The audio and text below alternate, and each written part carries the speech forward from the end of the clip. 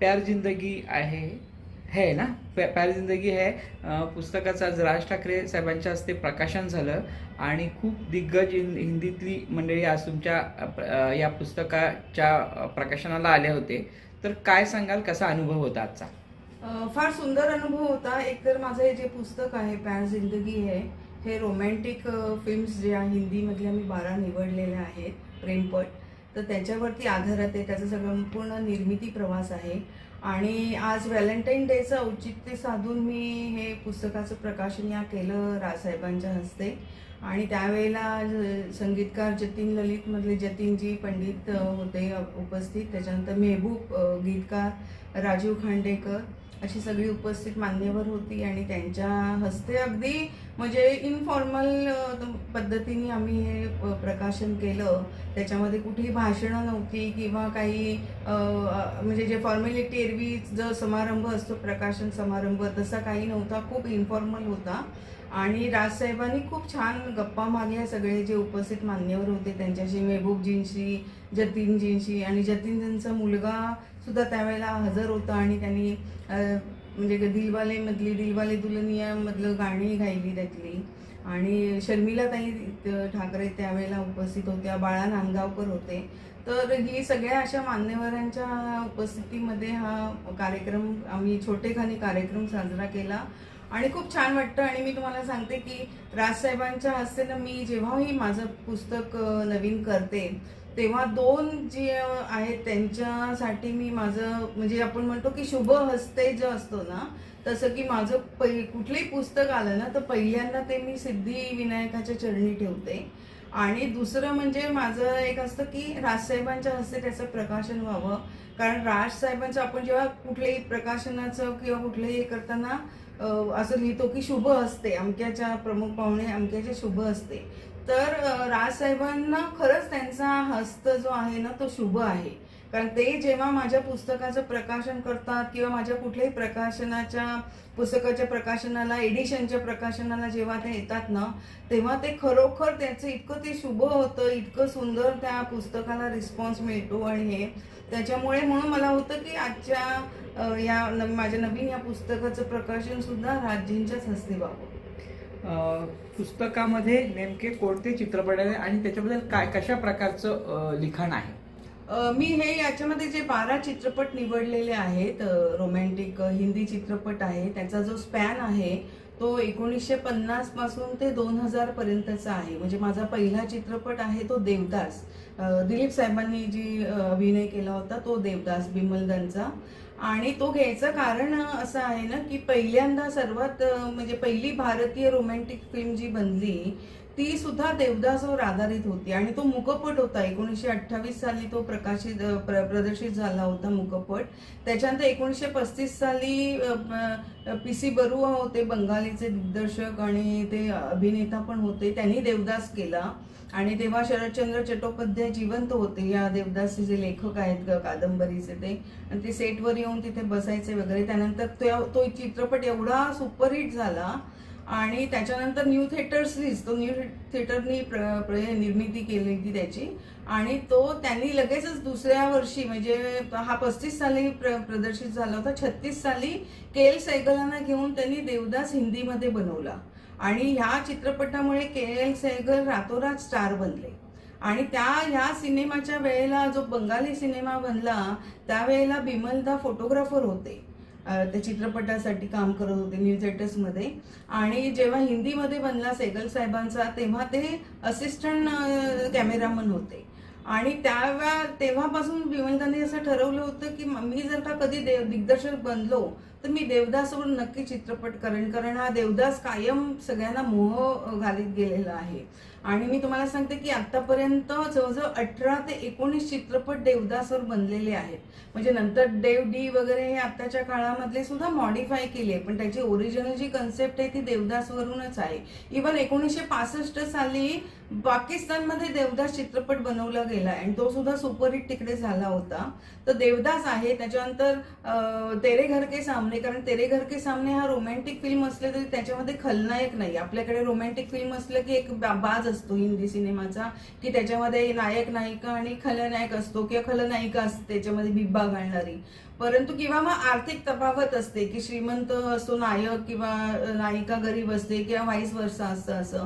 परंतु तेरे घर के सामने एक तर कॉमेडी वेनी रोमॅन्टिक फिल्म होती. आणि त्याच्यामध्ये कुठलंही तफावत नाही म्हणजे दोघेही नायक नायिका तेवढे श्रीमंत दाखवले तेवढेच वेल टू डू फॅमिलीमध्ये दाखवले कुठलाही खलनायक नाहीये तिथे जे सर्कमटन्सेस आहेत ती खलनायक असतं. की जे काय वातावरण तिथे जे काय कथे कथा जी घडते ना ती कथेचा जो बाज आहे तो तिथे खलनायक होता. म्हणून मी तो चित्रपट निवडला. त्याच्यानंतर अनुपमा आहे की अनुपमा ही वरवर आपल्याला वाटलं ऋषिक ऋषिकेश मुखर्जींचं की ती मुलगी आणि वडिलांची कथा आहे. पण तसं नाहीये. त्याच्यामध्ये जे धर्मेंद्रचं कॅरेक्टर आहे नायकाचं तर ती मुलगी जी आहे ती अबोल आहे. तिला एक सल आहे की माझा जन्म झाला आणि माझी आई वारली. आणि त्याच्यामुळे तिचे वडील तिचा तिरस्कार करत असतात. तर त्यामुळे ती अबोल आणि अशी सगळी इंट्रोवर्ट बनलेली असते. तर हा जो नायक आहे तो तिला त्याच्यातनं बाहेर काढतो. आणि ती बोलायला लागते ती स्वतः विचार करायला लागते ती डिसिजन घ्यायला लागते. त्याच्यामुळे ती निशब्द एक प्रेमकथा आहे. त्यानंतर माझा एक चित्रपट आहे आराधना याच्यामध्ये ज्याच्यामध्ये सुपरस्टार राजेश खन्ना सुपरस्टार बनले त्या चित्रपटानंतर.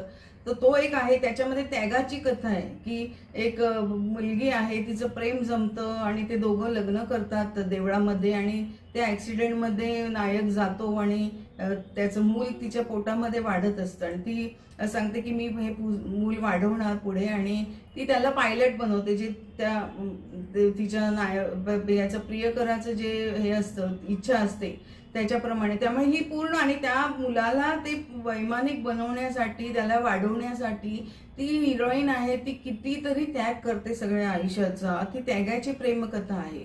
त्याच्यानंतर माझ्याकडे आशिकी मी घेतला याच्यामध्ये हम दिल दे चुके सनम हा सगळ्यात शेवटचा आहे जो नव्याण्णव साली प्रकाशित प्रदर्शित झाला तो. त्यानंतर दिलवाले दुल्हनिया ले जाएंगे कारण त्यांनी एक वेगळा इतिहास सगळा घडवला. नंतर कयामत से कयामत कारण अनेक वर्षांनी पुन्हा असं झालं की एक फॅमिलीचं जो आहे फॅमिली दोन फॅमिली मधलं वैर आणि त्यातले नायक नायिका अशी एक वेगळी सगळी प्रेमकथा होती. त्याच्या आधी मी एक दुजे केले जे ऐंशी साली आलं चित्रपट तर त्याची एक वेगळी होती. आपण आज साऊथचं आणि याचं सगळं वादिवाद चालू आहे. परंतु साऊथचं इनोव्हेशन इनोव्हेशन जे आहे कथेमधलं ते तिथे पण आपल्याला दिसतं की नायक नायिका ऍग्रीमेंट करतात. धरण विरोध झाल्यावर की एक वर्ष आम्ही भेटणार नाही. आणि तरी आमचं जर का प्रेम राहिलं तर तुम्ही आमचं लग्न लावून द्याल. ही कन्सेप्ट त्या काळामध्ये खूप वेगळी होती. तर ती त्याच्यामुळे एक दुजे केली आणि एक दुजे केली लागल्यानंतर तिथे जे वासू स्वप्न जे आत्महत्या करतात ते बघून भारतातल्या कितीतरी प्रेमिकाने त्या काळामध्ये आत्महत्या केल्या होत्या की घरनं विरोध आहे की लग्न होऊ शकणार नाही या कारणाने. त्याच्यात बॉबी राज कपूर यांचं ही पहिली टीन एजर लव्ह स्टोरी आहे.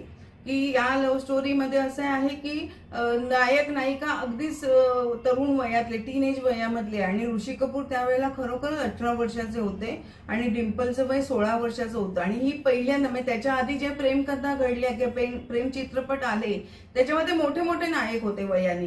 म्हणजे पंचवीसशी ओलांडलेले वगैरे. पण ही पहिली अशी टीनेज लव्ह स्टोरी होती आणि त्यांनी सुद्धा एक वेगळा इतिहास घडवला आणि तिथून टीनेज लव्ह स्टोरीची खरी सुरुवात बॉबी पासून झाली हिंदी चित्रपटांमध्ये. त्यानंतर छोटीशी बात आहे. छोटीशी बात आज आपल्याला रेडिओवरती म्हणजे एफ एम जे आहेत वेगवेगळे त्या एफ एम वरती किंवा काही कुठेही आज आपल्याला लवगुरु ही कन्सेप्ट माहिती आहे. की तुम्हाला रेडिओवरचा जो अँकर असतो तो तुम्हाला लवगुरु म्हणून तो बनवून तो तुम्हाला तुमच्या प्रेमामध्ये काय प्रॉब्लेम्स असतील त्याचे सोल्युशन्स देत असतो. परंतु याच्या सेव्हन्टी सिक्समध्ये शहात्तर साली जेव्हा छोटीशी बात आला तेव्हा ही कन्सेप्टच लोकांना माहिती नव्हती की लवगुरु काय असतो. आणि त्याच्यामध्ये असं आहे की एक कर्नल आहे जे अशोक कुमारजींनी काम केलं होतं. ते कर्नल आहे तो हिरो जो एक इंट्रोवर्ट आहे त्याला माहिती नाही की ह्या मुलीला मी कसं माझं प्रेमाचं सुद्धा सांगू की मी तुझ्यावर प्रेम करतो. आणि तेव्हाची तशीच अवस्था म्हणजे सामाजिक परिस्थिती तशीच होती. पटकन आजच्यासारखं असं नव्हतं की आय लव्ह यू म्हणणं इतकं सोपं नव्हतं. हे व्हायचं त्याच्यामुळे तो जो इंट्रोवर्ट आहे मुलगा लाजाळू आहे त्याच्यामध्ये कॉन्फिडन्स नाहीये न्यूनगंड आहेत. कारण तो सर्वसामान्य याच्यामधला आहे मुलगा. जे अमोल पालेकरनी त्याचं भूमिका साकार केली होती. तर त्या कर्नल जो आहे तो त्या नायकाला शिकवतो की तू मुलीला कसं त्या तिच्याशी कसं वागलं पाहिजे की ती तुझ्या प्रेमात पडेल. तर हा एक वेगळा बाज होता. त्याच्यानंतर कभी कभी कभी कभी चित्रपट मी घेतलेला यशजीनी दिग्दर्शन त्याचं केलं होतं यश चोप्रानी. आणि ती अमिताभ बच्चन यांची पहिली रोमॅन्टिक फिल्म आहे. कारण त्याआधी दिवार आणि जंजीर प्रदर्शित झाले होते आणि दोघांमध्येही अँग्री यंग मॅनची अमिताभची अमिताभजींची भूमिका होती. आणि ते एस्टॅब्लिश म्हणजे अँग्री यंग मॅन हा त्यांच्यावरती स्टॅम्प त्यावेळेला बसू लागला होता. आणि अशा याच्यामध्ये त्यांना रोमॅन्टिक फिल्ममध्ये घे रोमॅन्टिक रोलमध्ये घ्यायचं. आणि तो कवी दाखवलेला आहे आणि त्याच्यानंतर सुद्धा दुसरं आहे की अमिताभना म्हणजे ते पीक वर त्यावेळेला त्यांची सुरुवात झाली होती नायक म्हणून. आणि त्यांना एक मुलीचं बाप सुद्धा त्याच्यामध्ये ती पण भूमिका त्यांना साकार करायची होती. वैदा रेमन त्यांच्या पत्नीची भूमिका केली ती प्रेयसीची राखीनी केली होती. तर असे जे प्रेमाचे वेगवेगळे फ्लेवर्स आहेत ना ते मी ह्या चित्रपट या पुस्तकामध्ये घेतलेले आहेत की प्रेमामध्ये मी फक्त जो व्हायलंट एक प्रेमाचा प्रकार असतो जसं डर पिक्चर आहे तो पर्सनली मला खूप आवडतो चित्रपट शाहरुख खानचा. परंतु मला असं ना की प्रेमामध्ये ना म्हणजे ते हिंसक असू नये.